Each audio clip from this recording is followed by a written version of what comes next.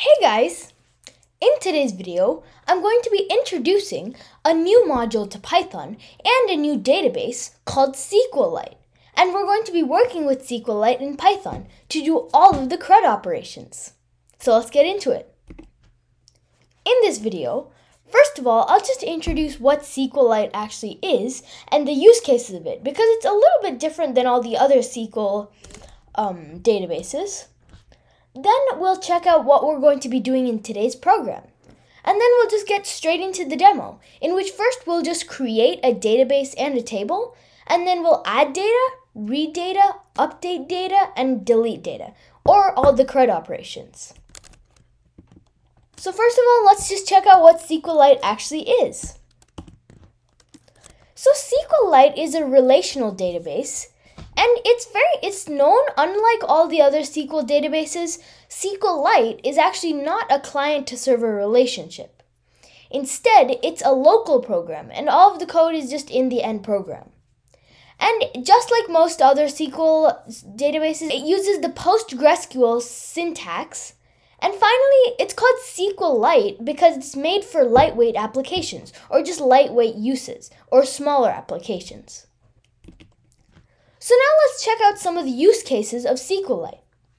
So first of all, SQLite is great for desktop apps that aren't going to be used by a lot of people because it doesn't handle very large operations, which is why it's called SQLite, because it handles lightweight apps. It's also good for record keeping because record keeping doesn't have that much and it's just a light application. And finally, the use case of SQLite is that it can handle smaller and simpler loads of data. So, let's get into what we're going to do in today's program, or all the CRUD operations. So first of all, what are we going to do with SQLite in Python?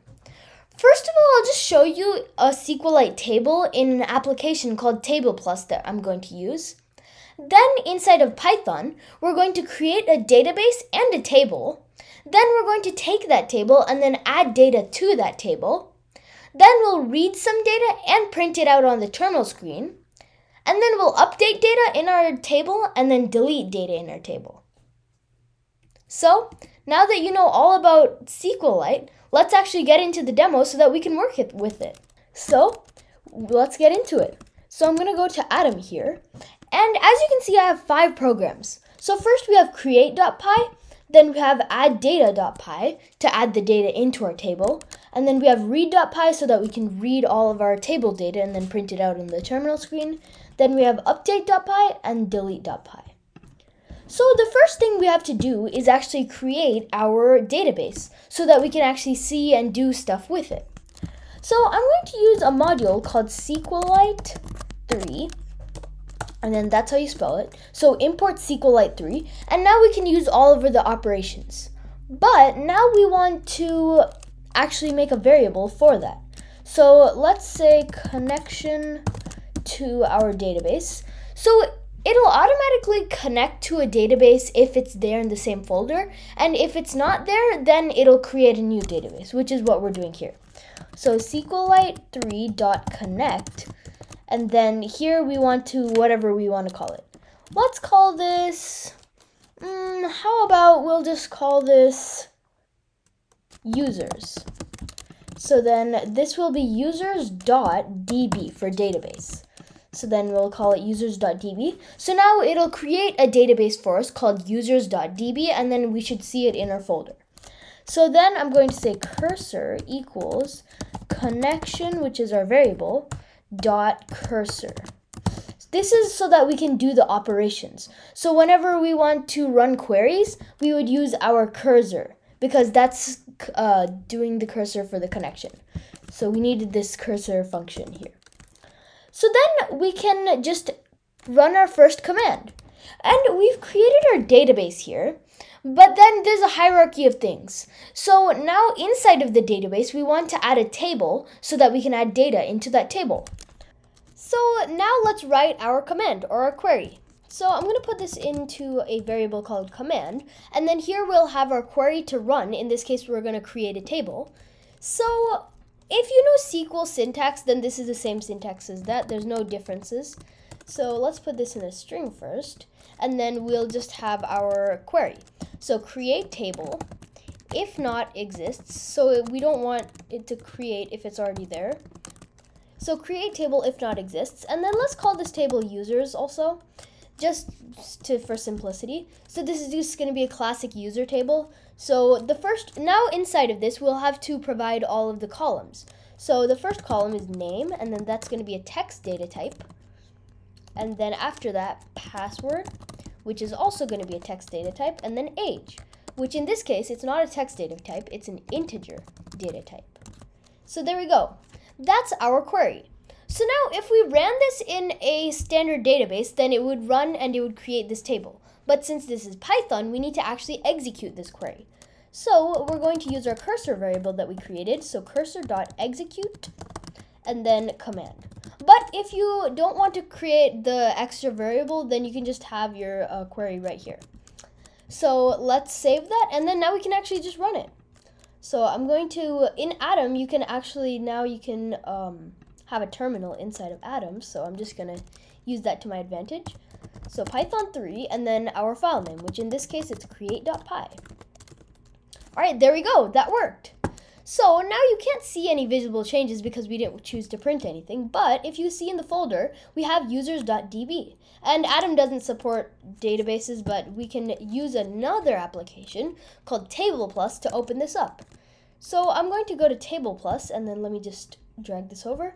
So this is an application called Table Plus, and basically what it does is it lets you open up all sorts of SQL and non-SQL databases and tables. So here we're going to create a new connection to our table. So again, like I said, this supports all of these different databases, but I'm using SQLite here, so I'm going to press create. And then for the name, let's say SQLite demo users. All right, and then let's just make this red, and then this is the most important part, select file. So now I have to go to the correct folder, which right now it isn't in the correct folder. So let me just get there.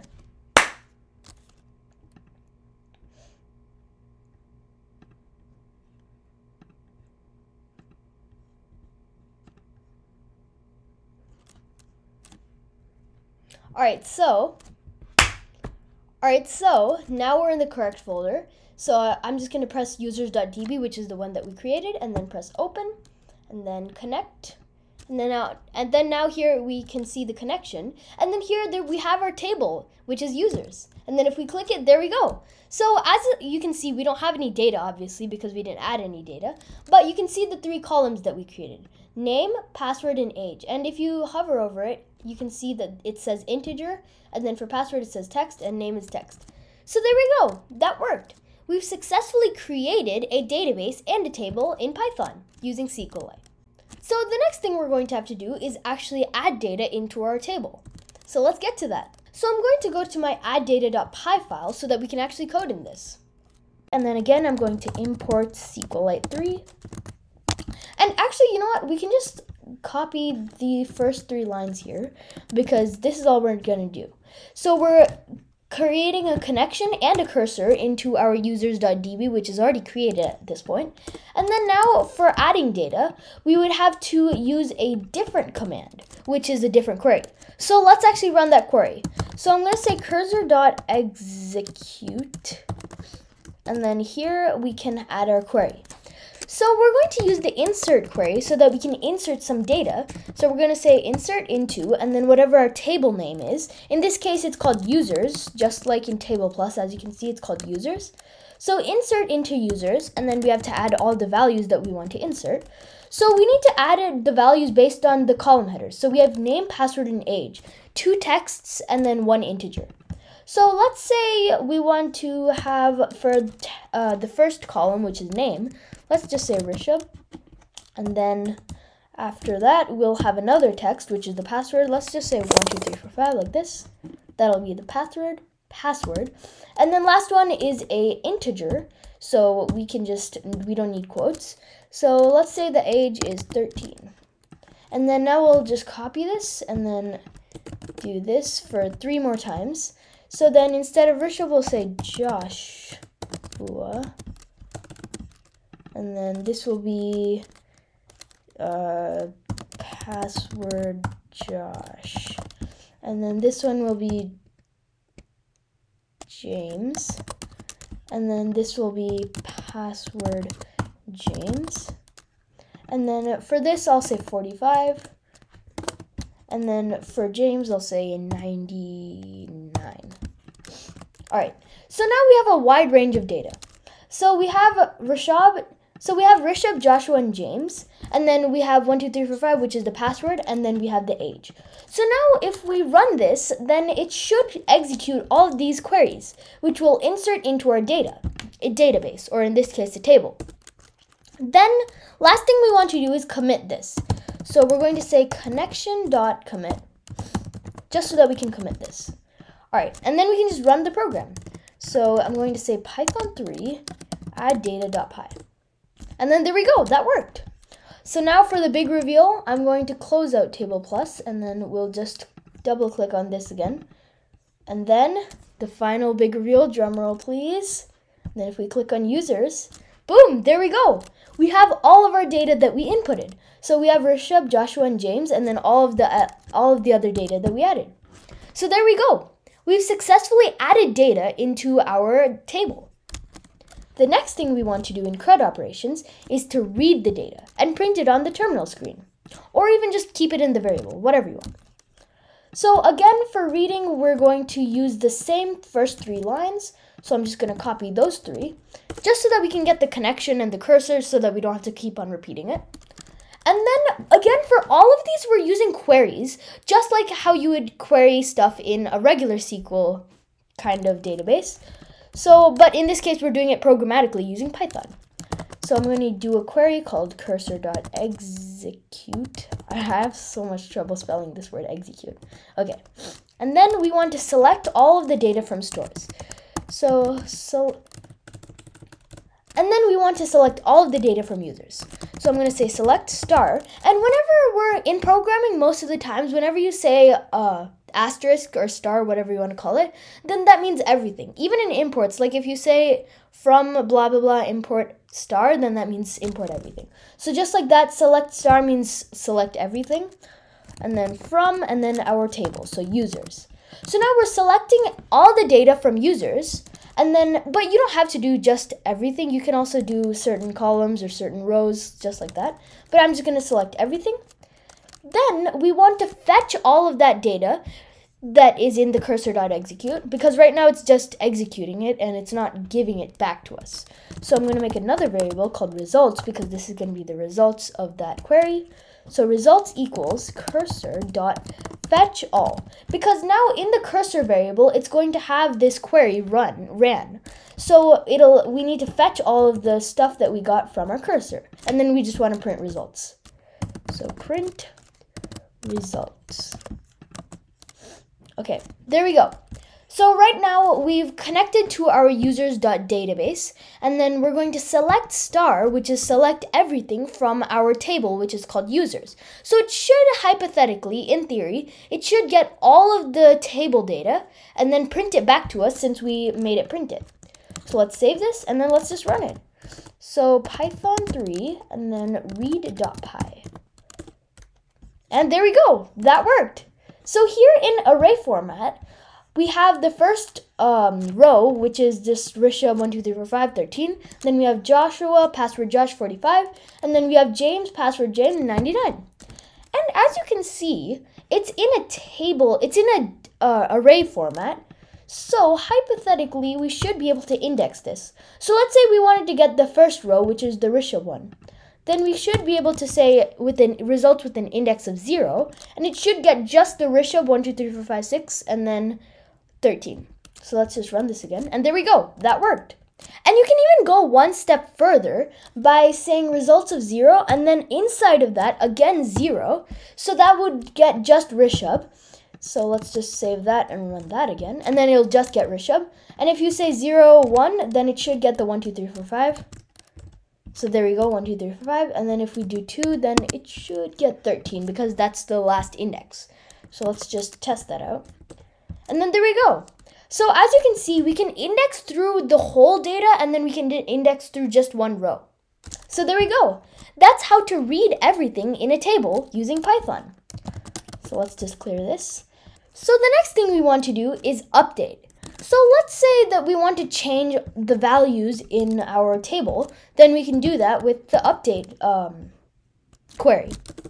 So here we're going to use our query again, cursor.execute. Execute. And then here we want to use the update query. So update, oh, I don't have caps lock on. Okay, update, and then users, since that's our table name, and then set, and then now we want to change one of the one whole column, right? So let's change the age. Let's say we want to set everyone's age to whatever we want. So in this case, let's say, let's say we want to change everyone's age to 20. So now hypothetically, let's just commit that. So cursor.commit. So hypothetically, now it should change everyone's age to 20. So let's say python 3 and then update.py. And oh, uh, commit, did I spell that wrong? Oh, not cursor. Commit connection. Sorry, my bad.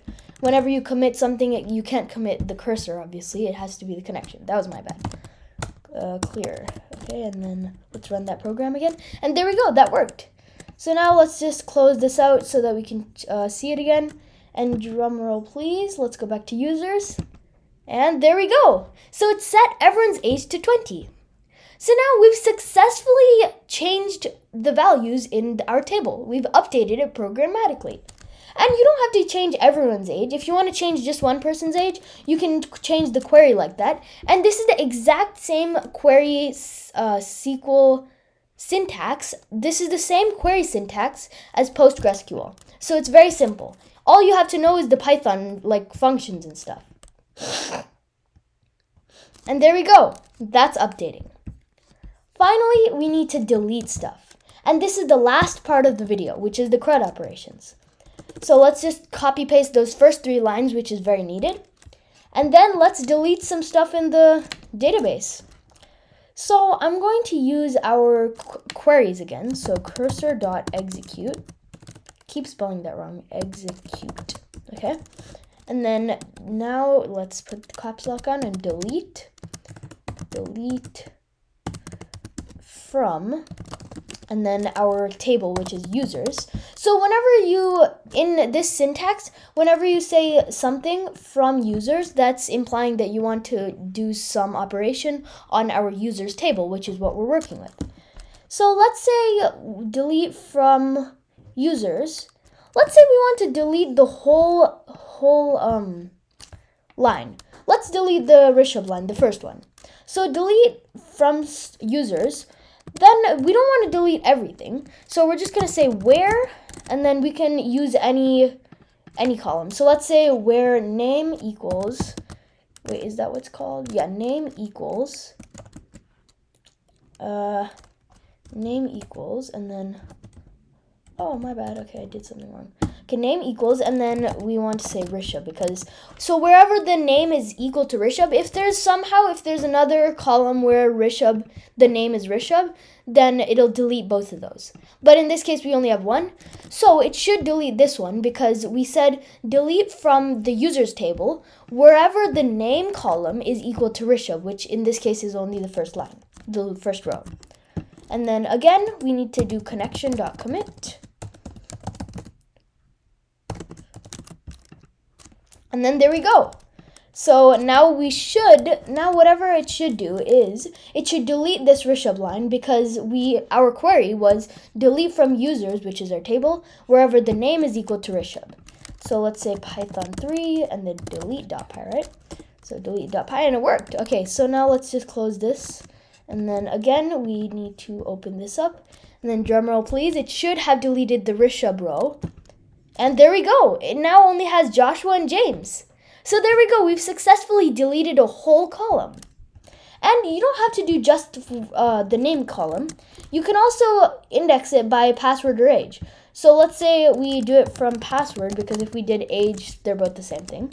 So password equals and then password Josh, I think it was called. If we want to delete the Joshua uh, row, then we can say delete from users where password equals to, and then in this case it's called password Josh. I believe so. Let's check that. Yeah, it's called password Josh. So now it should delete the Joshua columns and only the James columns should be there. So let's just run that again to test it.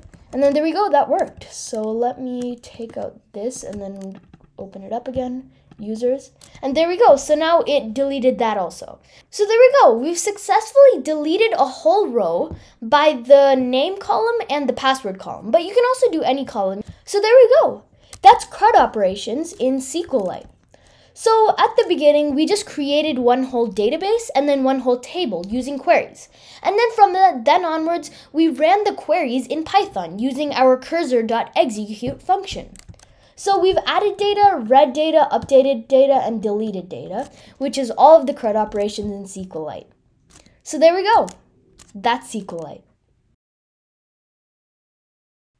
So there we go. In this video, we worked with SQLite. First, we just introduced SQLite, and then we worked in Python to run some queries in SQLite so that we can first create a table and a database. In our file structure, we just created a database and a table, and then we opened it using the Table Plus application. Then we ran all sorts of queries through Python programmatically. Like, for example, we added data using this insert query, then we read data using the select query, then we updated and deleted data, finishing all of the CRUD operations in SQLite. Now, my next video will be using SQLite as a backend for an application that I'm going to be creating. So stay tuned for that. Thanks very much for watching. If y'all had any doubts, please comment down below. I would love to help you out if you're stuck with any SQLite questions or issues. Please like, subscribe, all that jazz. Until then, you can learn anything.